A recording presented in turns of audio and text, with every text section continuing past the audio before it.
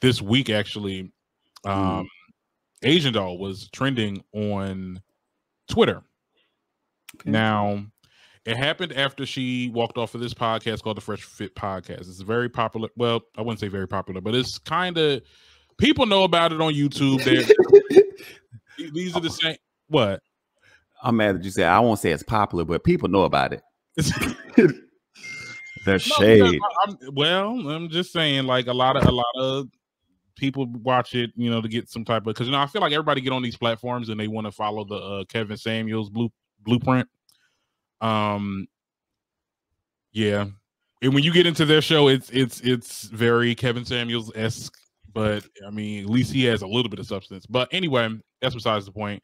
They got on this show, and apparently Asian Doll got into got into it between the co-hosts, uh, one of the co-hosts, because she was like, I guess, talking during the show or whatever, or she was having like side conversations multiple times.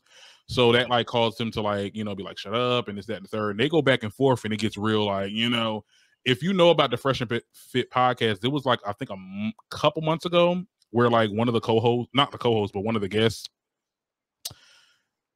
allegedly put a gun out on uh what's his name Akademiks i don't know if you heard about that but that happened like so this show is it gets there like it gets real like aggressive when the arguments it's like one of those um battle of the x's type conversation pieces you know what i'm saying yeah um so that happened and she you know she walked off this she walked off you know she was like i ain't dealing with that she was trending on um twitter because they resurfaced like other and this is and this is where the conversation kind of layers because they initially like resurfaced a couple of videos of them like really like talking crap about black women, right? Like saying that, Mhm. oh, one of the comments were, oh, well, I, I don't do the Shaniquas or I, I'm not into the nightlife and this, that, and the third, talking about dark skinned women. Um, so that kind of put a real big like magnifying glass on the show. So they responded and was like, oh, well, it's my preference, it's my preference. So it so that's kind of what a lot of people were talking about. I mean, I know a lot of people like Joe Budden was talking about it. Like there was um people on social media, you know, TikTok usually. It's a mess. My whole thing with the with the conversation about his preference or whatever, it's just like that wasn't the that wasn't the conversation. You were you are being challenged because people are posting like resurfaced videos of you coming for black women, like preference or not. Right.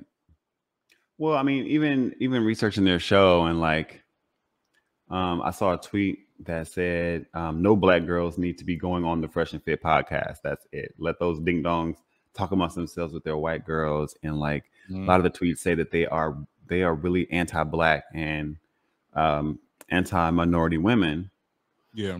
um, because of their patriarchal and misogynistic like attitudes. But I think that you know it's a conversation that has to be had because there are other people that are people. There are still people who think like that, and I mean, it's sad.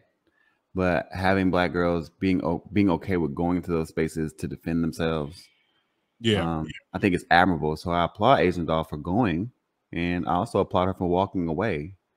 Um, Yeah, she 'cause felt she- like she was she being disrespected.